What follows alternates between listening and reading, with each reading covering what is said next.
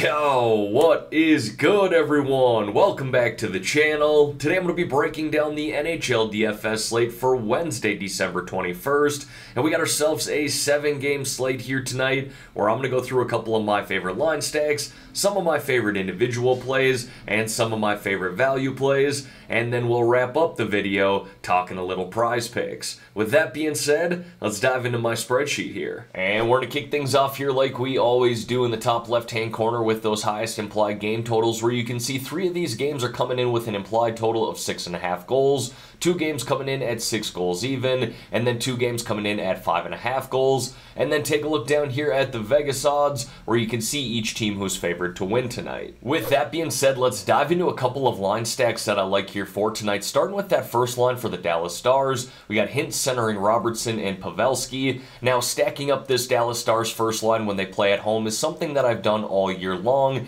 and something I will continue to do until further notice. These guys are awesome when they play at home. I mean, really, they've been great all year long, but the numbers that they put up at home are hard to ignore. These three have now combined for 26 goals, 35 assists, 61 points in just 15 home games, averaging over 4 points per game. And it's a very strongly correlated line stack here as well, with all three of those guys playing up on the number one power play. And I do like their matchup at home here tonight against the Edmonton Oilers, who've allowed 3.42 goals per game this season, with a penalty kill that's hit at just a 72.5% rate. Now, honestly, with this second line stack here, I almost went with Florida's first line of Luostarinen, Reinhart, and Verhaeghe. You can see I got two of those guys on the spreadsheet still, but ultimately I did pivot to this second line here for Vegas of Carlson, Smith, and Marchessault because I do like the matchup better for them at home against the Arizona Coyotes, who are again one of the worst teams in the NHL this year, continue to struggle defensively. They've allowed 3.63 goals per game already this season,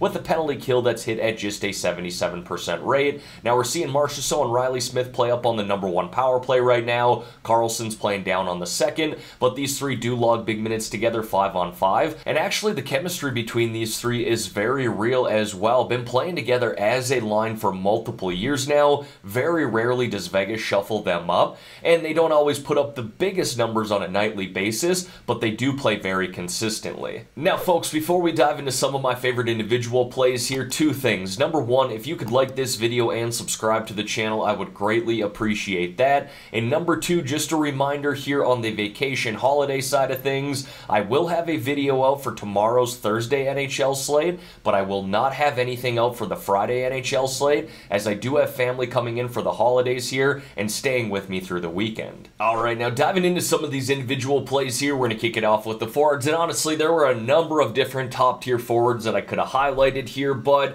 I feel like I haven't talked about the Colorado Avalanche enough as of late, and Mikko Rantanen has been playing some good hockey ever since Nathan MacKinnon went down with his injury. It's been about eight games now since Matt got hurt in that game against Philadelphia, and you can see here Mikko's piled up seven goals during that stretch of games, averaging around four, four and a half shots on net per game. We're still seeing him play up on that first line, play on the number one power play, and log in massive minutes as you can see there off to the right hand side. And they got a good matchup at home here tonight against Montreal Canadiens, who've allowed three and a half goals per game this season with a penalty kill that's hit at a 79% rate. Next, I got Matt Boldy there of the Minnesota Wild. Now, I like Zuccarello here tonight. I like Kaprizov, obviously, but both of those guys are very expensive. You can even mix in a Sam Steele in the low 4K range who's currently centering those guys, but I kind of like the price tag here on Matt Boldy, and honestly, it's probably still a little too expensive, but this is a great matchup here against the Anaheim Ducks, who've allowed 4.15 goals per game this season, the most in the NHL, with a penalty kill that's hit at just a 67.8% rate, second worst in the NHL just behind the Vancouver Canucks. We're seeing Boldy play on the second line right now, but plays up on that number one power play, so a lot of opportunity for the kid. Now, if you look at his last 10 games here, he's only got two goals, four assists, six points, but this is someone who does have multiple point upside, especially in a matchup like this, and he'll probably fly under the radar a little bit because a lot of people will be looking to play Kaprizov and Zuccarello. Now, I mentioned earlier when I was going through the line stacks that I do like that first line for the Florida Panthers tonight as well. Reinhart, Verhaeghe, and Luostarinen, who you can see I got listed as a low-priced option. A good matchup here tonight at home against the New Jersey Devils, who have definitely started to slip up here as of late. They're now 0-5 1 in their past six games, allowing four goals per game, the third most in the NHL during that stretch, with a penalty kill that's hit at just a 78% rate. Now, I suspect we're going to see Reinhart play on the number one power play here tonight, but they kind of have been shuffling some things in Florida as of late. So he could be down on the second power play. Either way, he's going to get some sort of time on the power play here tonight, but I do hope it's the first. He's been playing some really good hockey here over his past five games. You can see he's racked up five goals, three assists, eight points, with 15 shots on net over his past five. I think got JT Compher there of the Colorado Avalanche, and I kind of like doing a little mini stack with him and Mikko Rantanen, both on that first line and number one power play. Hell, even mix in a Cale Makar who plays on that number one power play with them and obviously just logs big minutes in general. Compher here's been solid on that first line. Isn't putting up the most numbers necessarily. One goal, three assists, four points in his past eight games. Again, ever since Nathan MacKinnon went down. But I do like the way that he's shooting the puck here. 23 shots on net during that stretch, essentially averaging three per game. And I love the ice time that he's getting here. You can see he's logging over basically 22 minutes per game on that first line and number one power play. And again, I do like the matchup for the Avs in general here tonight at home against the Montreal Canadiens. And then I got Matt Duchene there of the Nashville Predators who have been shuffling their lines as of recent too. Right now it looks like Duchene is playing on the third line, but playing up on the number one power play, and suspect he's going to get his normal ice time as well. Like the price here at $4,700, but even more so like the matchup here against the Chicago Blackhawks, who are 0-5 in their last five games, allowing five goals per game, most in the NHL during that stretch, with a penalty kill that's hit at just a 44.4% rate. That is tremendously low, just abysmal. So I do like the matchup, like I said, in general. And Duchene's here been solid here over his past 10. Three goals, six assists, nine points in those 10 games. Now, moving over here to the defenseman, and I have no issue spending up for the defenseman position here tonight. I like Pietrangelo, but I'd also pay up for Roman Josi of the Nashville Predators. Again, considering how good that matchup is against Chicago or Cale Makar, who I mentioned earlier when talking about JT Compher and Mikko Rantanen. But I like Pietrangelo here too, obviously. He is on the spreadsheet. Good matchup here at home tonight against the Arizona Coyotes. You could stack him up with that second line that I highlighted earlier, even just do a three-man stack with Marchessault, Smith, and Pietrangelo, being that those three play up on the number one power play. Petro's been really solid here over his past 10 games. You can see there, two goals, eight assists, 10 points, averaging around three shots on net per game, and averaging close to two block shots per game as well, really racking up DraftKings points in a number of different ways. And really, that's the same play here with Miro Heiskanen of the Dallas Stars, stacking him up with forwards on that first line who all play on the number one power play. Again, in a solid matchup here tonight at home against the Edmonton Oilers. Take a look at Miro's numbers here over his past 10. Two goals, seven assists, nine points, essentially averaging a point per game and averaging close to three shots on net per game as well. And this is a guy who logs massive minutes.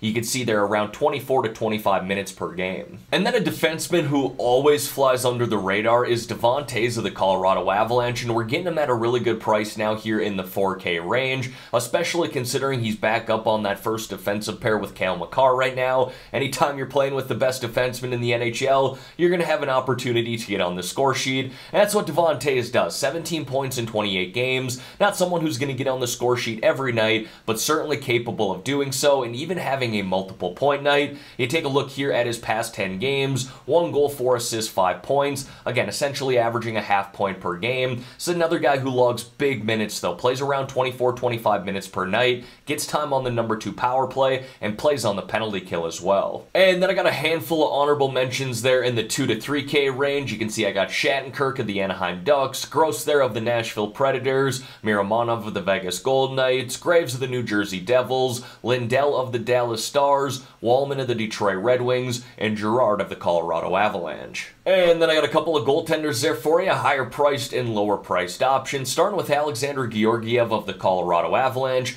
Already talked about how much I like the matchup at home tonight against the Montreal Canadiens. And Georgiev has been really solid for the Avalanche this year with a 13 6 2 record. He's got a goals allowed average of 2.46 and a save percentage of .923. He also has 6.8 goals save above expected, which ranks 14th of 79 qualified goaltenders this year. And then I got Ville Husso there of the Detroit Red Wings. This is purely a tournament or GPP play for me, but I do like the price at $7,300. He's now 11 6 and 5 on the season, with the goals allowed average at 2.66 and a save percentage of .913. I talked about this last week. He's definitely had some highs and lows this year, but I do like his upside on the tournament side of things. Someone who can go for 25, 30 plus DraftKings points.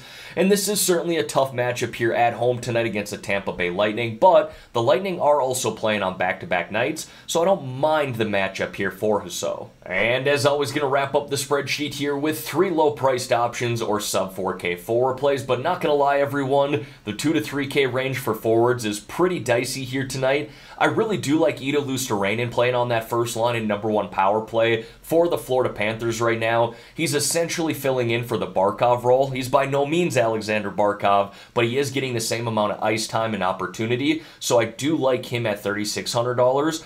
But these next two plays here are very boom bust type of plays. First is Thomas Novak of the Nashville Predators, currently playing on that first line in number one power play right now. He could very well get bumped down to the number two power play. Like I said, it's purely an opportunity play, though. He had one assist in his first game with the Preds this year. He has played in the NHL before, but was recently called up from the AHL and did play 13 and a half minutes in that game and really didn't look all that bad. And then Michael Amadio there of the Vegas Golden Knights, I suspect he's going to be back up on the first line tonight. We saw him replace Phil Kessel on that first line about halfway through their last game. If it happens to be Phil Kessel, I certainly don't mind that either because I do like the matchup here tonight at home against the Arizona Coyotes. And then to wrap up this video here, want to talk a little prize picks with you guys. Seven game slate here tonight, but they only have props up for shots on goal and goalie saves right now. And my normal practice is to wait for all the picks to come out, do my research, and let you know my final picks in a comment below on this video. And I'll be sure to pin that comment as well. And don't forget, I am posting those picks in my Discord too. If you want to join that channel, there's a link to do so in the description below. Now, nothing official here right now, but I'll probably pick one of these Florida Panthers players over two and a half. Dylan Larkin at two and a half looks interesting as well. Again, a tough matchup at home here tonight against Tampa, but He's usually a guy who floats around the 3.0 or 3.5 number, and then Roope Hintz has just been playing some really good hockey as of late, so that is on my radar as well. But again, I'll let you know my final picks at some point here this afternoon. For those of you who have not signed up for prize picks yet, though, and want to get in on this action, I got a promo code that you should definitely take advantage of. When you're signing up, use my promo code GRIFF. G R I F F, and Prize Picks will give you all the way up to a $100 match deposit. Now, again, you do not have to put 100 bucks in. You want to put in 50, they'll match 50. You want to put in 20 bucks, they'll match that $20. Again, as long as you're using my promo code GRIFF, G R I F F, upon signing up. Alright everyone, that is going to wrap up this video here for today. As always, thank y'all for taking the time out of your day to watch the content here on this channel. If you could like this video and subscribe to the channel, I would greatly appreciate that. Let's have ourselves a great day here, folks. Let's win some money on this seven-game slate. In the meantime, I'm out of here.